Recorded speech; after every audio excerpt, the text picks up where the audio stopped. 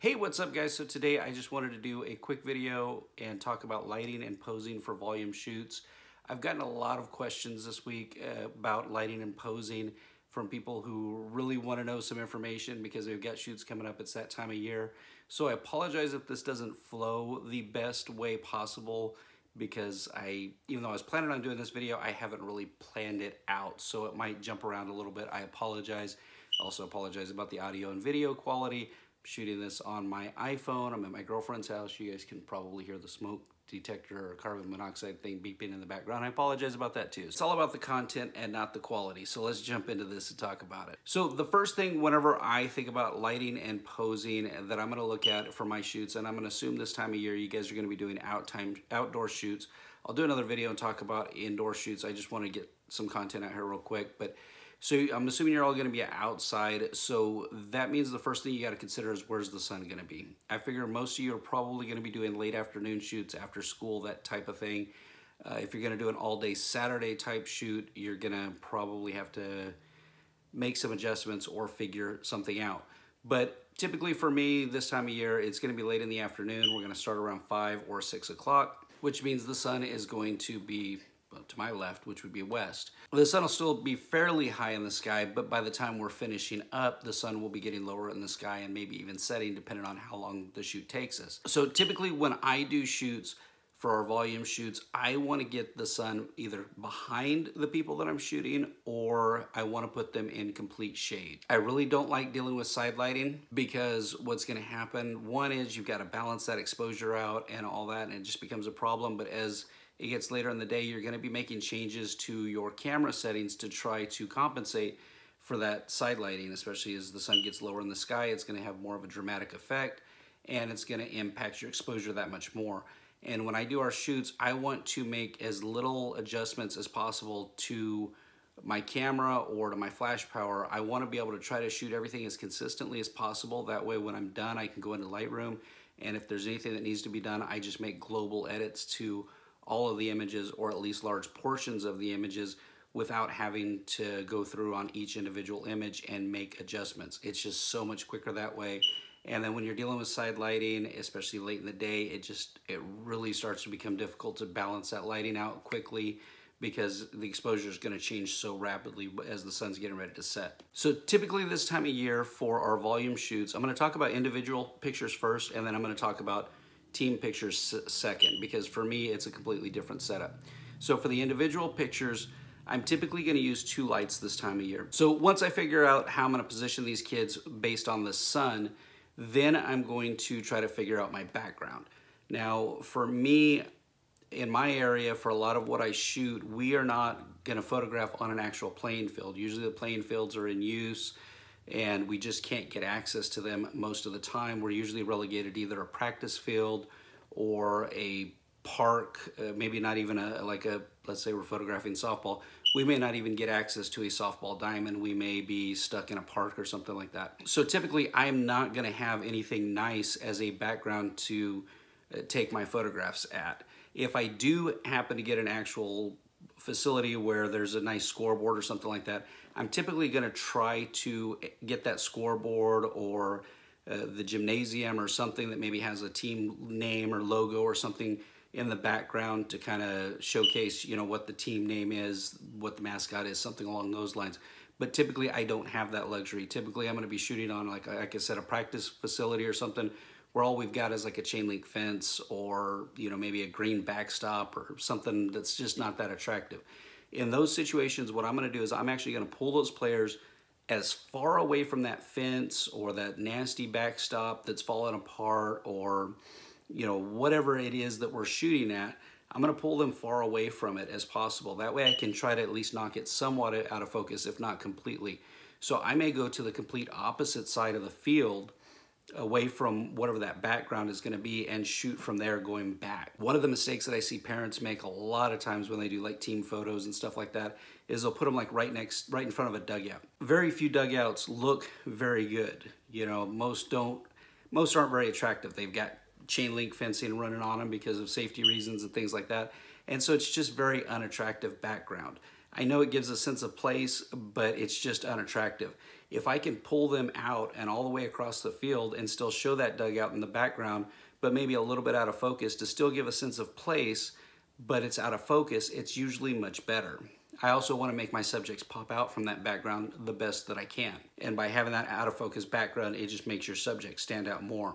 A lot of times we're relegated to shooting in parks, especially whenever we do youth organizations and things like that in those situations, what I do, if we're at a like a public park, you're gonna have people walking around, all kinds of problems like that. Typically what I do in my area is most parks in my area have a sump area in them. I assume it's like that just about everywhere, but I don't know that to be true because I've never visited a lot of parks outside of Southern California. But in my area, they have these sumps because they are designed in case the city ever floods, they've got someplace to drain a large amount of water because they're still green and they have grass and trees and things like that.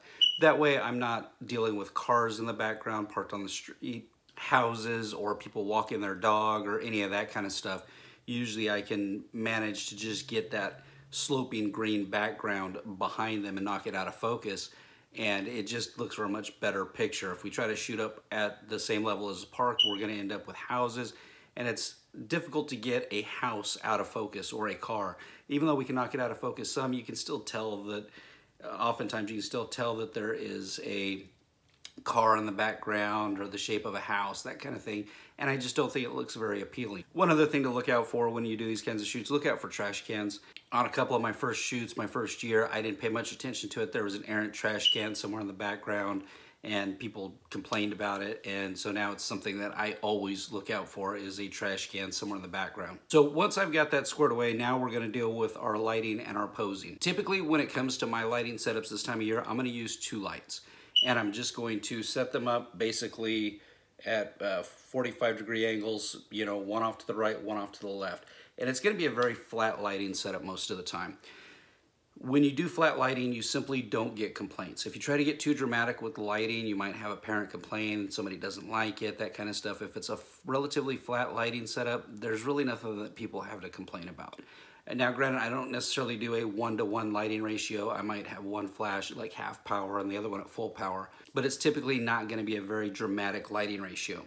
And the reason why I primarily go with two lights this time of year is simply because the sun is so bright and it's so difficult to overpower the sun this time of year. And what I'm able to do that way is I'm able to use less flash power on each flash and still get a nice lighting pattern on their on their face because I don't want to really use full power flashes this time of year if I'm doing large groups, three, 400 kids.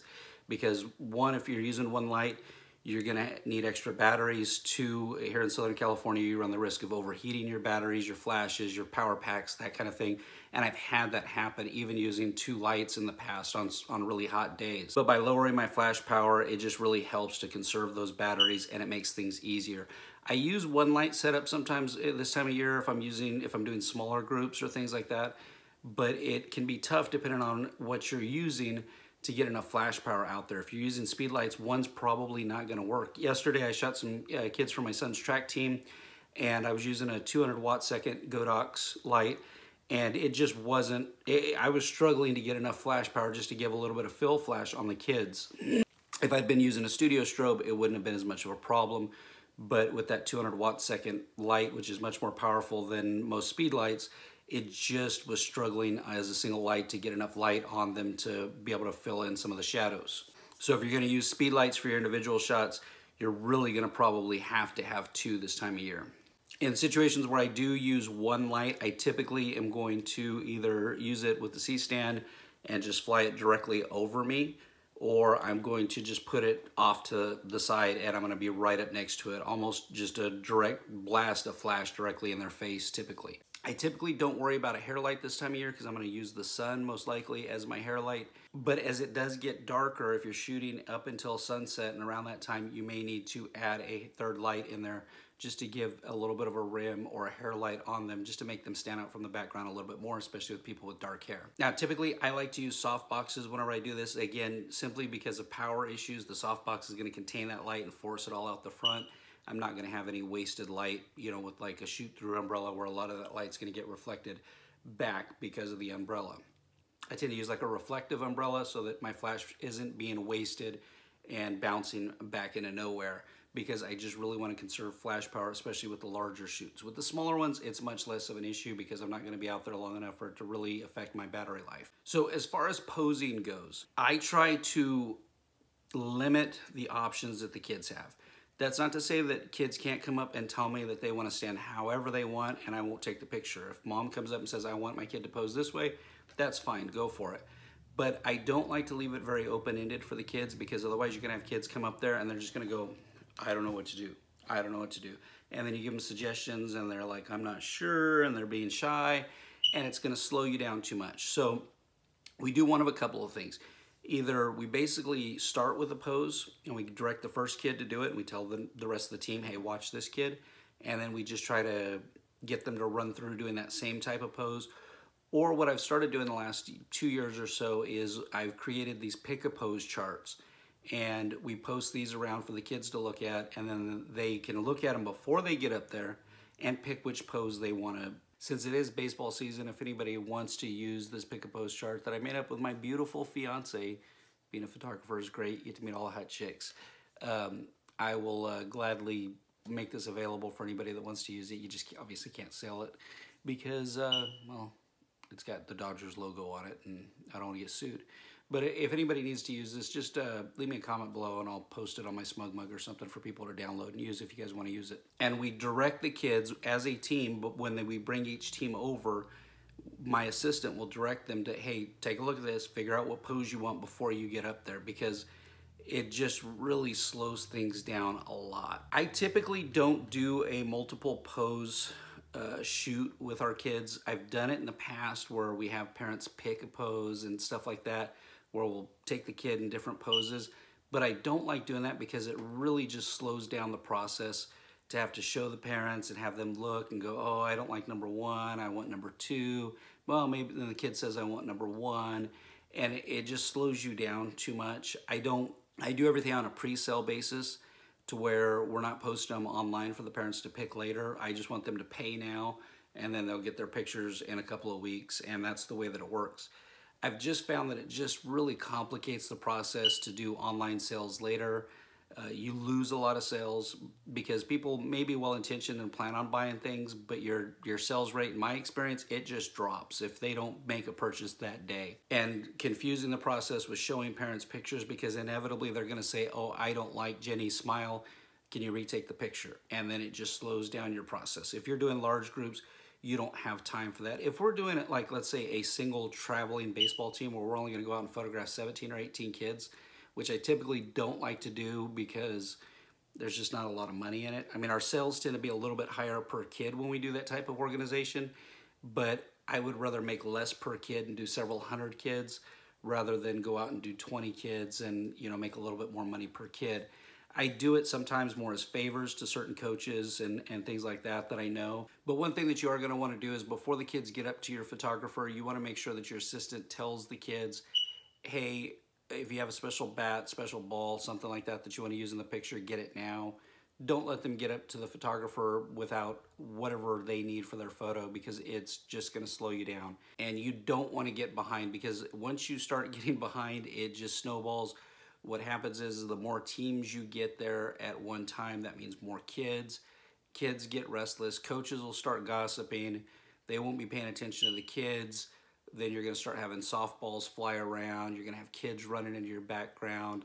We've been hit by soccer balls. We've had our equipment hit with softballs and stuff like that because when we get behind, there just ends up being too many kids there to control and it gets loud and then you can't hear and there's just way too many problems. So we try to stay on schedule for the simple fact that we want as many, we want as few people there as possible. Quick tip, if you're photographing younger kids, you're probably gonna end up with some kid that is crying and doesn't wanna take a picture. It happens all the time. You're also gonna end up with parents that are screaming at their kids to smile and to smile right, which only makes the kid more nervous, and then they don't wanna behave, or they don't wanna smile properly. In my experience, a screaming parent never works to get a good picture. So typically what I'll do when we have those crying kids is I'll tell them, hey, why don't you go take the team picture and then bring your kid back? Because oftentimes by sending them over the team picture as a group, they get a little bit more comfortable with the photographer and then they come back and they're not crying.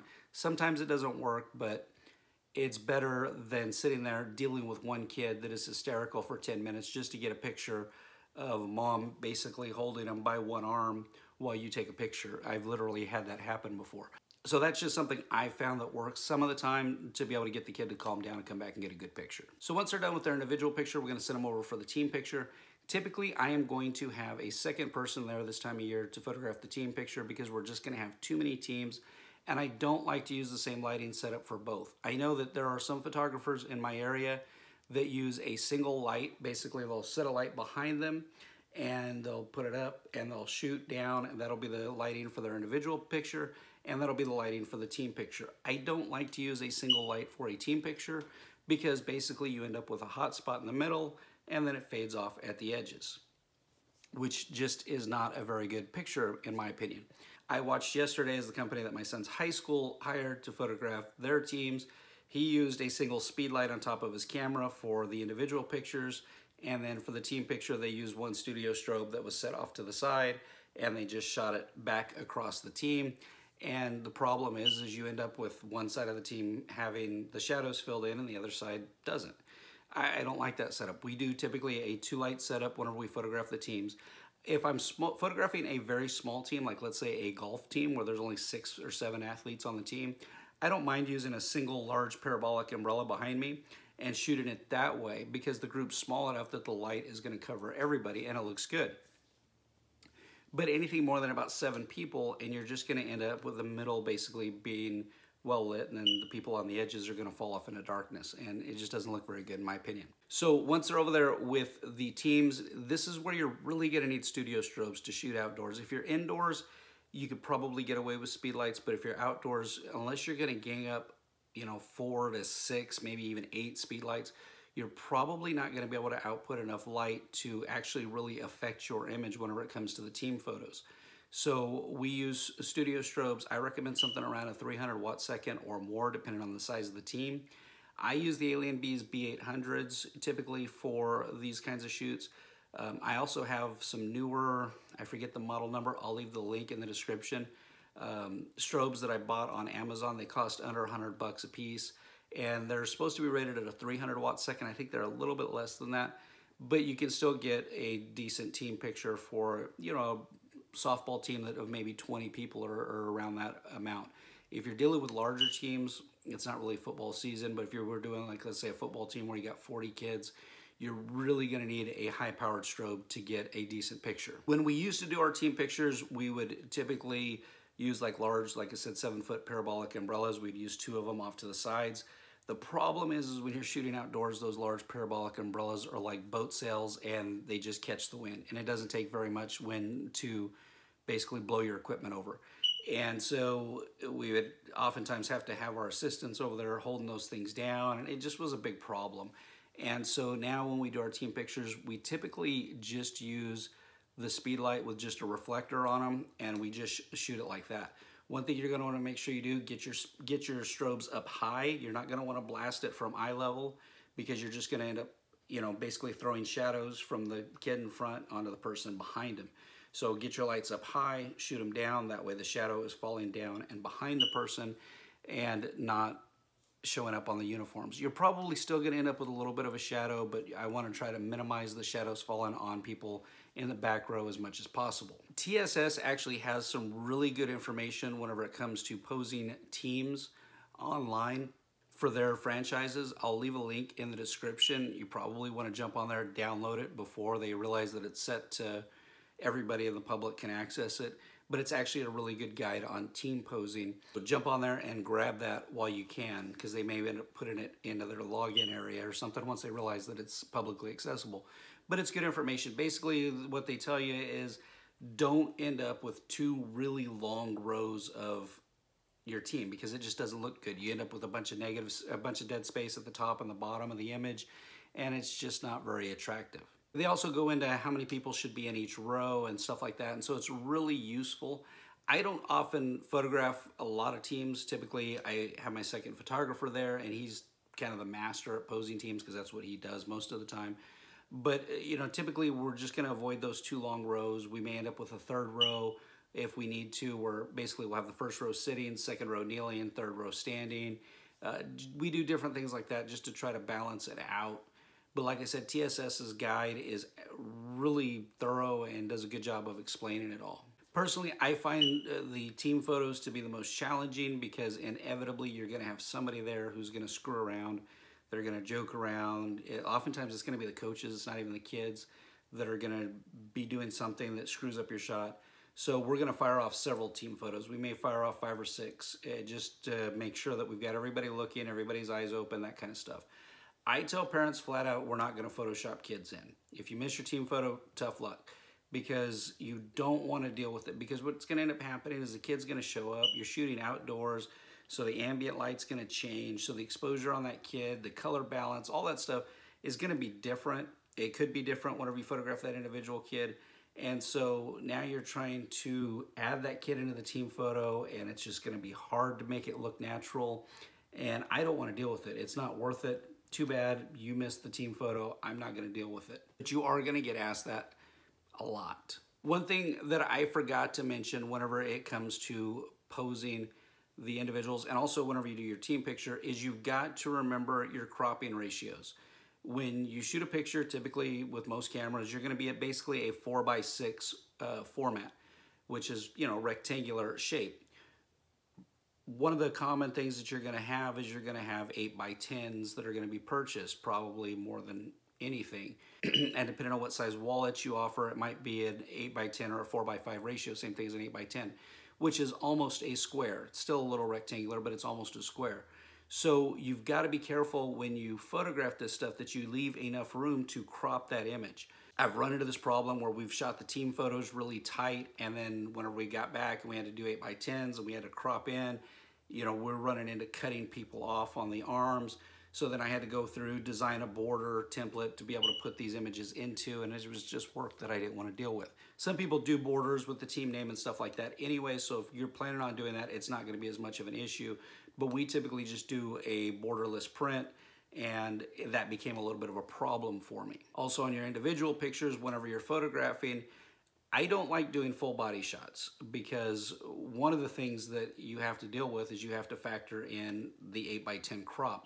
So if you do a full body shot, you've got to make sure you leave enough space from head to toe that you can crop into that 8 by 10 ratio. Whenever we do things like, let's say, soccer, we get a lot of kids that want to stand on the soccer ball. And so if I don't leave enough space in there, if I shoot relatively tight on the kid, what ends up happening is I'm cutting off part of the soccer ball, I'm cutting off part of the head, because I always forget to leave that extra space. So make sure that you do shoot wider than you would normally do, because you've got to factor that in.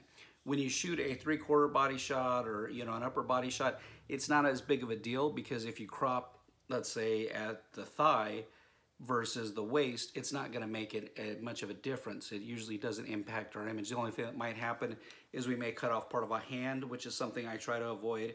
I try to make all my crops to where either it's like at the middle of the forearm or below the hand. I try not to crop off at the hand because it just looks a little bit weird. But whenever you're doing three quarter body shots or upper body shots, it's typically not going to be much of an issue on your crop. But when you do full body shots, it becomes a very big issue because you can't really cut part of the image out. Which that also reminds me whenever it comes to posing, you have to remember you're going to have kids with various athletic abilities, especially when you're dealing with like recreation league sports. When you get into high school or like traveling clubs and things like that, where it's a little bit more competitive, it's much less of an issue. But when you're dealing with like recreation and youth, really young youth sports, the ability of these kids to follow directions and do certain things is going to vary greatly. So something as simple as putting one foot on the soccer ball is going to be a challenge for some of these kids. Even some of these kids in rec league that are older that you think would be able to stand on one foot and balance another foot on a soccer ball, it can be a challenge for some of these kids that aren't very coordinated. And so I try to avoid something like that, like the standing on the soccer ball. I don't encourage it. If they ask for it, obviously I let them do it but I don't encourage it because you're just going to have so many kids that are going to come up and they're not going to be able to balance. And you're going to be trying to time your shot to, before that kid falls off to the side. And it's just frustrating. It creates a mess. And I, I try to avoid that. So I try to keep the, the poses as simple as possible. Like for baseball, I don't really care much for when the kid comes up and they do the whole baseball, the, the hitting pose because what happens is they hold the bat so high above their head, you have to either crop part of the bat off, which I don't really like, or you end up with the bat taking up the upper third part of the picture. So typically I tell the kids, come in for a more relaxed pose, just rest the bat on your shoulder. And I think it looks, personally, I think it looks much better and we actually get a better response from the parents in the end. They may come up and say, oh, I want my kid to stand like this. And then whenever I show them the difference, almost 100% of the time, I'd say like 99% of the time, they end up telling me they like the more relaxed pose better. But anything even remotely complicated, especially for the younger kids, I try to avoid. I mean, something as simple as holding the bat out in front of them and doing that kind of pose, it can be a challenge for some kids to even remotely stay still even the bat over the shoulders and having the kid look back, I've had kids that have had a very big challenge trying to get into that pose, especially when they were younger. And one of the things with me and the folks that I work with, I tell all of my assistants, don't touch the kids at all. Not that I don't trust my assistant's judgment, but I just want to avoid any kind of problems or any kind of complaints, anybody to perceive something wrong. Maybe mom sees something from a, a, bad angle or anything like that. So I tell my assistants, don't touch the kids. Don't help them get posed at all. We can direct them, but we're not going to actually touch them. We always have a parent or a coach come over and they will actually navigate and move these kids if we need them to get moved into a certain position. It just, it avoids complaints and you know, just this last year, there was a situation with the mall Santa that swatted a kid on the butt uh, playfully, and it turned into a whole big controversy for him. He got death threats, things like that. I don't know what the kid, what the Santa was thinking, swatting a kid on the butt that wasn't his, but it was a very playful thing, a very innocent thing, but it turned into a very big mess for this man. And I just don't want any kind of complaints like that to be even associated with my company. And so I just tell my assistants if somebody's hair is out of place, hey, mom, come here, come here and fix it. If the kid can't get it done themselves. So sometimes the poses can be a little bit difficult to get the kid exactly the way you want it because I see it in my eyes and the kid's not understanding, but I'm not gonna move that kid at all. I'm gonna have a parent or somebody come over and, okay, I need them to get their left shoulder back, I need their head this way, whatever the situation may be, and direct the uh, adult to help get them posed just my personal preference, my piece of advice to you guys, because I know that 90% of the people that watch my channel, according to YouTube, are middle-aged males here in America. And let's face it, as a middle-aged man, we are inherently creepy in the eyes of most people. I just don't want anything to get misperceived and deal with those kinds of complaints. It's just my, my advice to everybody. The only time that I will allow my assistant, and this is probably gonna sound wrong in today's day and age, but the only time that my assistants will ever help get people posed is on the occasions that I have a female assistant. I will let them help the girls to get posed or fix their hair or things like that, but I don't have very many female assistants that help me. I'm sure somebody out there is gonna say that I'm wrong for being old fashioned and having that thought process, but that's just the way that I was brought up and raised. So I'm sorry in advance. So with that said, I hope I covered everything in there that I needed to cover. Like I said, this was a little bit rushed. Uh, I hadn't really sat down and formulated a thought process on everything that I wanted to talk about. So if you guys have any more questions, leave me a comment below and I'll try to get it answered in another video. So I hope this helps those of you out who've got shoots coming up here in the next couple of weeks. Go out there, have fun, take a lot of pictures. And uh, if you guys have any questions, like I said, just leave me a comment below and I'll do my best to answer it. Thanks for watching, guys. Have a great day.